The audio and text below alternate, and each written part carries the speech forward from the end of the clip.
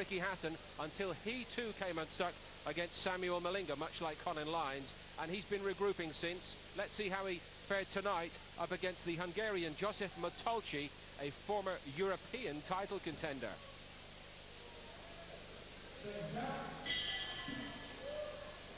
Well, Ted Bami is right up there among the top light welterweights in the country, but he's had a couple of setbacks along the way and uh, still rebuilding after being beaten by the South African Samuel Malinga and beaten conclusively in Plymouth last July. He's in here with the Hungarian Josef Matolcsi, who gave James Hare, one of our top welterweights, a pretty good argument before what looked like a premature stoppage in the 10th round. So Matolcsi can look after himself a bit. He's got a fair old stoppage record as well.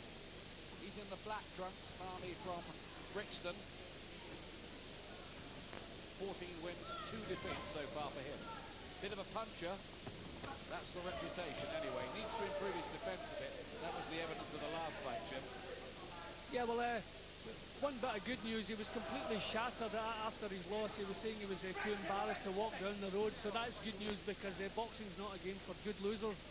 But I think they're doing the right thing, giving him a stiff taste on the way back. You want to show you still have confidence in your fighters. If you drop him back down to journeyman level, then he starts wondering. But this really is a test for him tonight.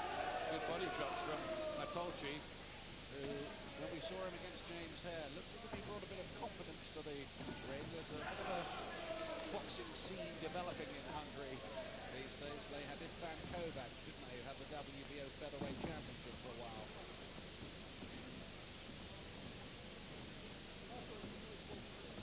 Started full of intent here. What we saw last time, that's a good right uppercut from Bami, was that he was very open to right hands and got taken out by one against Samuel Malinga. Yeah, I think things were just going a little bit too well for him. He was finding he was doing everything well within himself and he just got a shock that night. But I think what he needs tonight uh, doesn't want to throw too many punches, but he wants the accuracy and the sharpness because this fellow will have to be discouraged. He'll keep coming, so you want to meet him with good, solid punches.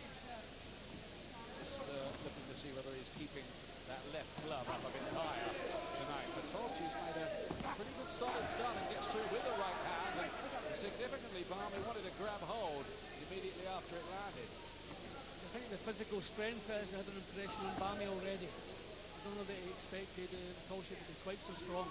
Another good body shot from the Hungarian who's done the more eye-catching work in this first round. Palmer does get there with the right and another of his uppercuts as well. He talked very big uh, before that fight down in Plymouth and uh, it was all a bit embarrassing for him afterwards. They were giving him the big build-up. He was getting star status and everything and it all went horribly wrong. So there are things to prove again for him.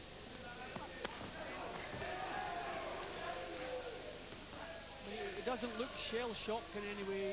He still looks to, to have that, that natural confidence, but that wasn't the best of starts for him. Coach's round.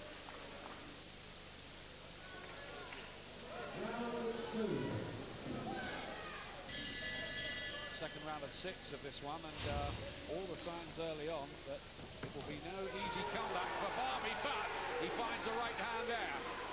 Great start to the round, and he's on shaky legs there. The Hungarian, what an answer from Bami right at the start of round two after he'd had an uncomfortable opening round.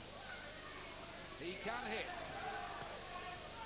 Yeah, as I was saying in the first round, it's solid punches, pick the shots, think about defence. Every punch has to be solid to discourage this fella. He's been on the floor before and come back uh, and gets himself back into fights again, so he's certainly tough enough. How much is that taken out of Matolcsi? The answer might be a lot. Another right hand, he's in trouble again.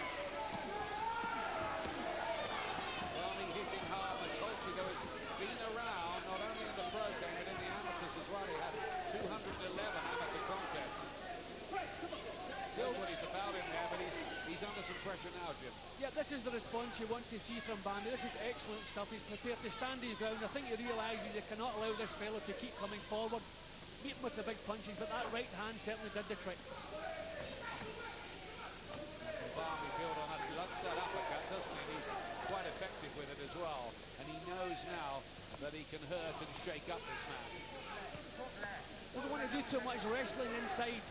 Just wants to step back, make some room for the punches. This fellow's strong, you don't want tired out, they're wrestling inside. He's certainly on top now, Bami. He will feel a lot better about this. And may be a little bit more worried about closing the range with Bami because he'll be worried about walking onto another one of those right hands.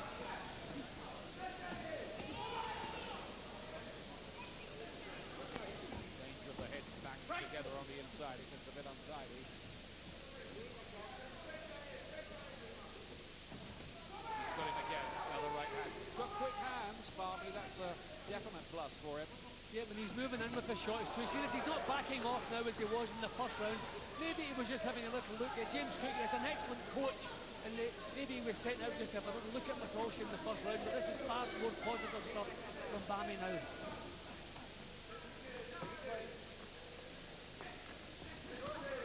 Getting there repeatedly with those rights. When he lost to Samuel Malinga, he was finding a decent guy. And it also been Colin Lynes, another of the uh, rising prospects in the light welterweight division. Just trying to switch it from Michael Barbie back to orthodox. A bit of blood around as well now. Spear in the forehead, I told you, but can't quite see where that's coming from at the moment.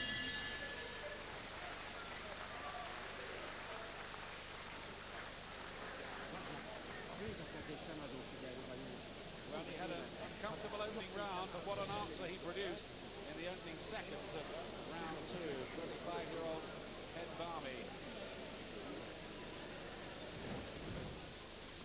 Well, we wondered coming out for the second round if he was going to be a worried man or how he would respond, but that was the perfect response.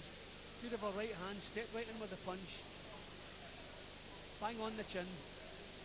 Matolcsi again, testament to his, his toughness and his fitness that he can back up from that and got himself back into the fight. These little uppercuts are hurtful shots too. But Bami is now seeing the effect of his punches. He landed a couple of good shots in the first round, uh, which uh, didn't even cause the other fella to blink. But that one certainly did.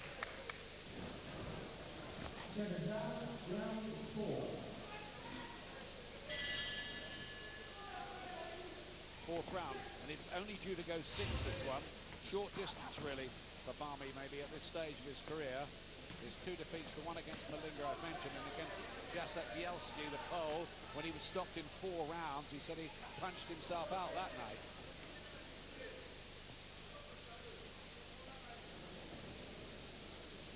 But uh, if Bami is as good as he thinks he is, then uh, six rounds uh, should be a doddle for him. He should really be able to set a pace for the six rounds.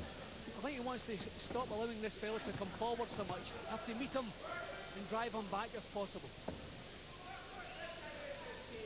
Bami has had some good wins. He stopped Bradley Price with a couple of seconds to go. Flirts again with switch hitting and going southpaw, but only for a few seconds. Also beat uh, Michael Smythe and the Irish Olympian Francis Barrett. Decent wins. They've got him in the British top five, most people anyway. See, I don't think he has the strength to wrestle with Matolcsi, so he wants to meet him head on. He wants to initiate the attack. That's much better. Get the punches off first. Don't wait to see what this fella's doing. He's trying to counter, it's not really working.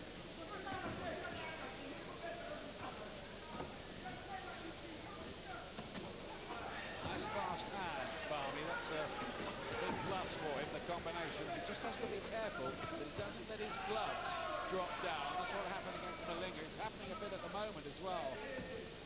It's quite an open target, so when you've got your gloves that far down, I guess your reflex is going to be good with that kind of uh, guard. Yeah, but he doesn't have an awful lot of head movement, so you want your, your, your hands up that little bit higher. But this is a much better round for Bami so far. Positive, there's good snap in his punches, far better. He's getting them off a little bit quicker. Right, step up, step back, right back. Not crowding his work so much either at this uh, juncture. Just getting a bit marked up around the face as well. I think that's some more right hands from Barman because even if they don't land cleanly, they're stopping Matolcsi from, from throwing his own punches. So I'd like to see some one-twos, just the old-fashioned left-right. This is a fight Bami has to win, really, to get his career going forward. He can't afford any more slip-ups.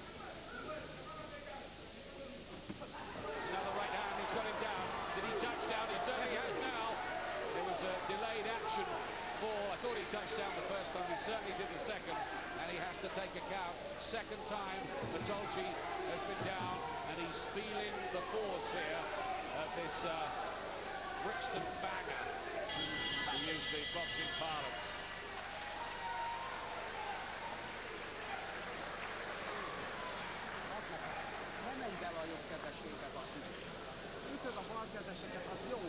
He's finding this a bit tougher than the fight he had with James Hare. Yes, well, that's uh, twice he's been on the floor, and uh, he started running out of ideas uh, halfway through the fourth round. You can see at this stage he can't get so close to Bami. Now that was a good right hand. Bami landed a good right hand earlier in the round, which I think shook Matolcsi a little bit. That's a definite knockdown, no question. The right hand is definitely the answer. Just show him the left, come over the right. He never misses with it. And you can see the effects of that punch. Another beauty. Much more confidence now in Bami's work. I've actually scored two rounds apiece.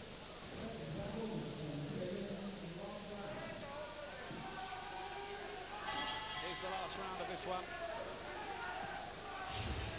Bami looking to re-establish himself. White trumps the 25-year-old from Brixton.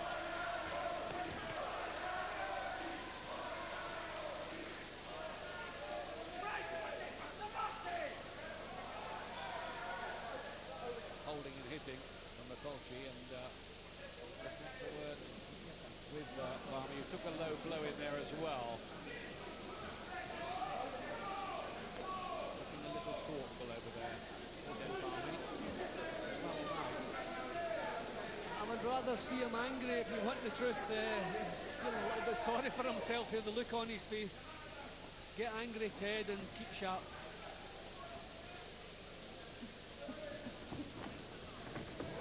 Lateral movement from Bami.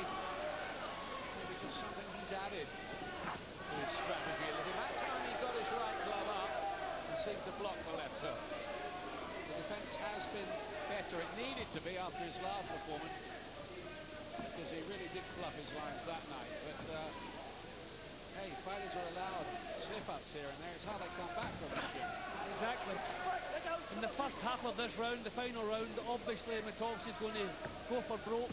So it wouldn't be bad for Bami just to coast a little bit, cover up, keep his defences tight, then do, do his work in the second half of the round. The uppercut. He didn't quite get there with it that time. I do like his hand speed, and he's obviously a very well-conditioned fighter, isn't he? Yeah, and I like his attitude as well, the way he's come back uh, from a, a pretty shattering defeat a couple of fights ago. So it seems as though the show's back on the road again, which is good to see. Think the question with Bami, and he will remain after this, as he's hurt by a left hand towards the end of the contest. That one seemed to wobble him a bit, Jim. Yep, I think it caught him a little bit higher in the temple. Certainly shook him up. Once those hands up again, the job's done as long as he doesn't throw it away. I was about to say the question is whether he can come through to be a championship level type of operator. We won't get the answer to that tonight. There's another left hook, and that one stiffened the legs of Matolcsi that time, who's prepared to take a risk or two. He's got a fighting heart, this Hungarian. Tried very hard in this last round, try to pull things around. We've got him behind, he must be behind. Well, definitely a tough match for Bami, for Bami and he, he's handled everything well. Winning it clearly on my card now. There's one or two uncomfortable moments along the way, though, particularly in round one, and once or twice that's just a slip by uh, Matolcsi.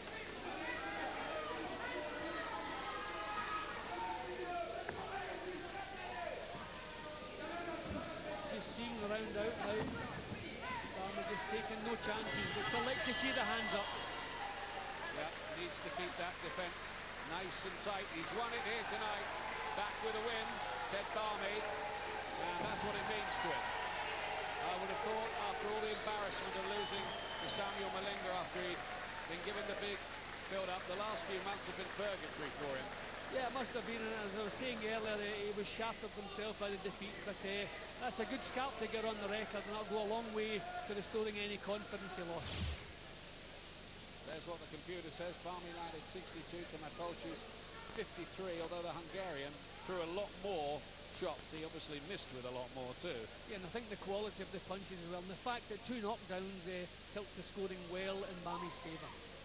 Takes his record to 15 wins against a couple of defeats. Well, can he prove himself to be anything more than an operator at this kind of level? Can he come through to championship class? We shall see. Ladies and gentlemen, after six rounds of boxing, referee Marcus McDonnell has scored this contest for Matolcsi, 54 points. For Bami, 58 points. Your winner from Brixton, Dangerous, Ted Bami. And show your appreciation, please, for Joseph Matolcsi. There's the thing, Barry. A fighter whose nickname is perfect. He really is dangerous, isn't he? Yeah, there's no doubt about that. This guy's a really good fighter. I know that Malinga beat him and stopped him, and I know that it's uh, it, it was a bit of a setback for him. The bottom line is this guy can fight.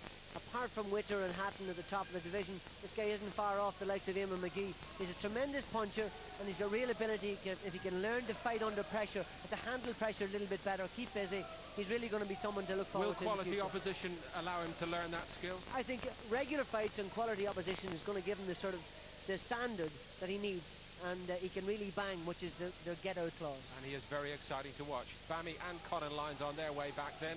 Top of the bill here tonight, Richard Williams. And a superb display as he regained the Commonwealth light middleweight title in